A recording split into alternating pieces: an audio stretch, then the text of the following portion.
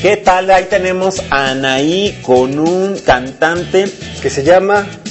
Disculpen apellido, mi inglés, ¿no? ¿eh? Tramar Dillard, mejor conocido Speak como English. Florida.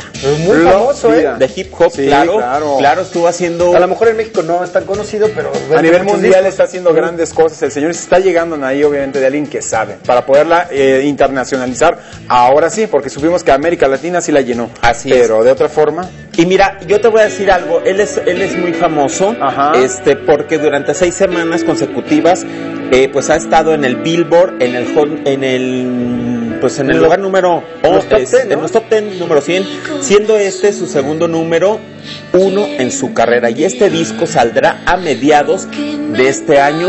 Pues hay que escuchar la propuesta de Anaí, es innovadora, el éxito que tiene en Brasil Anaí. Anaí, Es es bárbaro, es brutal, Latinoamérica, Latinoamérica. Oye, pero ¿sabes que después de que dejó RBD se hizo más sencillita? sí. y carismática.